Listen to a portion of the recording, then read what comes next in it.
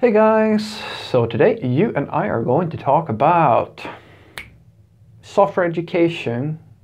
It's free and why the salaries are so high. So let's get into it. So the question in question was, Fredrik, since software is software development learning materials are free, why is it that the salaries are still fairly high? And the short answer is, my friend, that the demand is high you see, education that earns you a big paycheck doesn't have to cost a lot of money. Let me explain. So you may, this may come as a shocker to all of you, but software education or learning how to program is for most intents and purposes these days free if you're just going on the internet or well I wouldn't say free free because the quality content is usually some type of premium type of content or at the very least you have to have an account or something like that. It may not be super expensive if you compare it to what it might cost you to go to college or a university or something like that. But at the very least, it's semi-free. It's very available, let's call it that. And this may be weird to, depending on where you are in the world, where they might actually in your society or in your region associate higher learning with higher paycheck. And in other words, because that's usually how it goes. It has been the case for a long time. If you need, well, it's not always the case.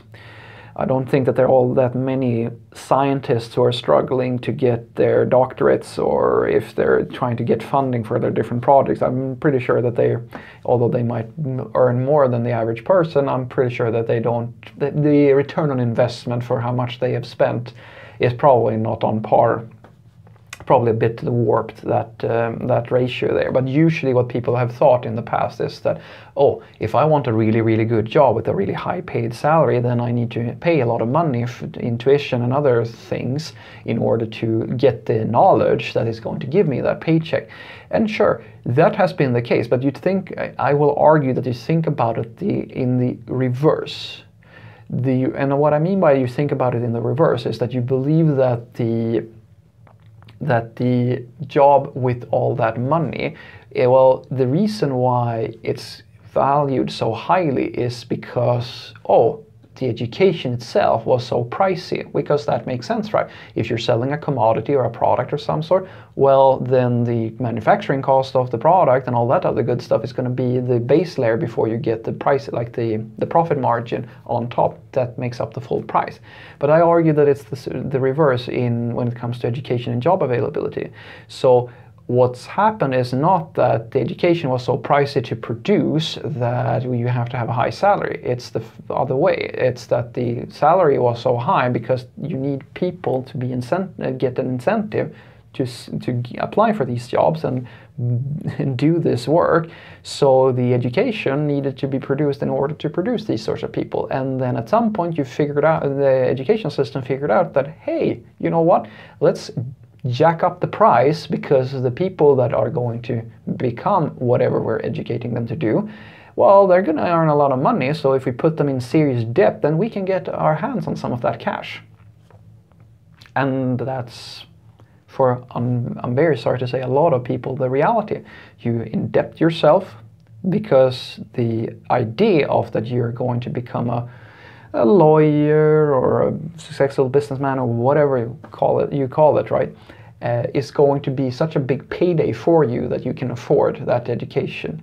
And that's just, yeah, that's how it works.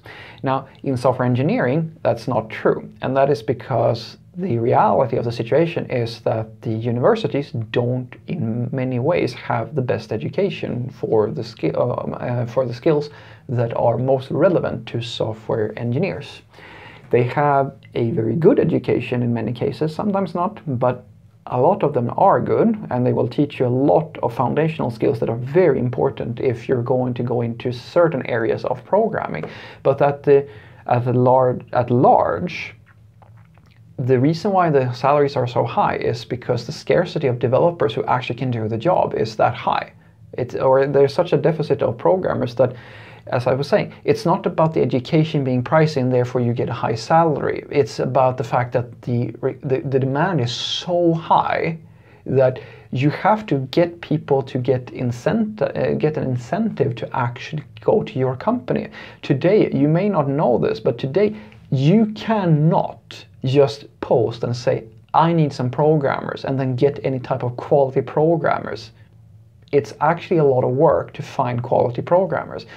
Things such as company branding and having a having a relationship with different communities and recruitment processes and all this good stuff and having perks.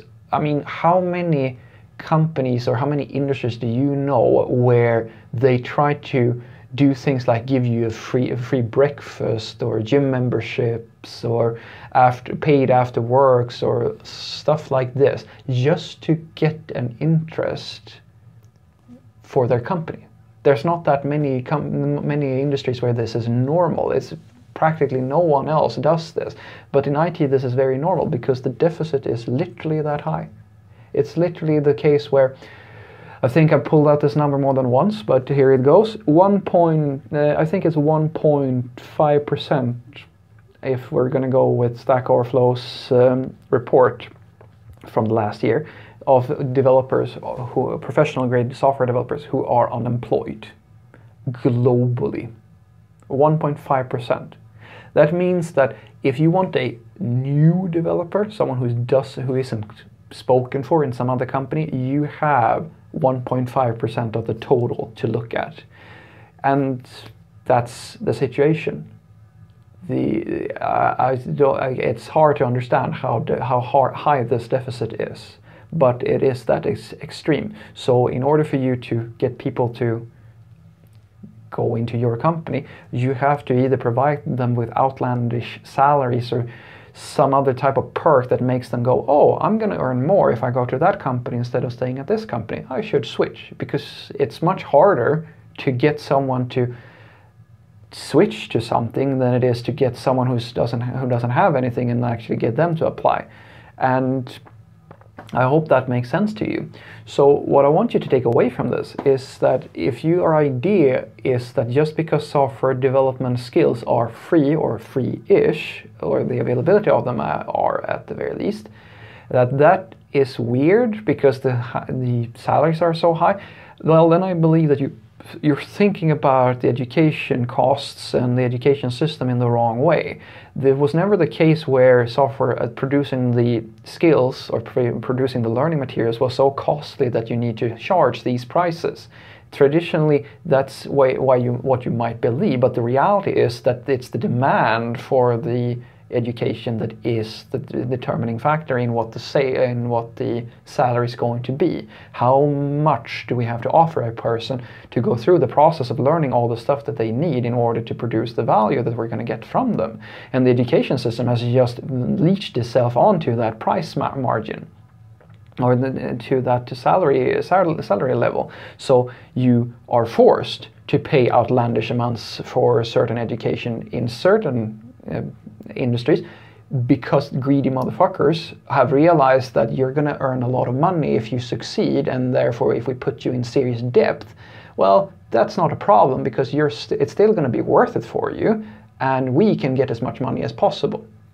But the education was never the cost factor. The cost factor is all the work that you have to go through and it's determined by the companies because the companies need you to go through the whole process and the people who are charging you for it, they're simply trying to earn money from the from making you into that person that's going to earn all that money. So that's pretty much it. Have a great day.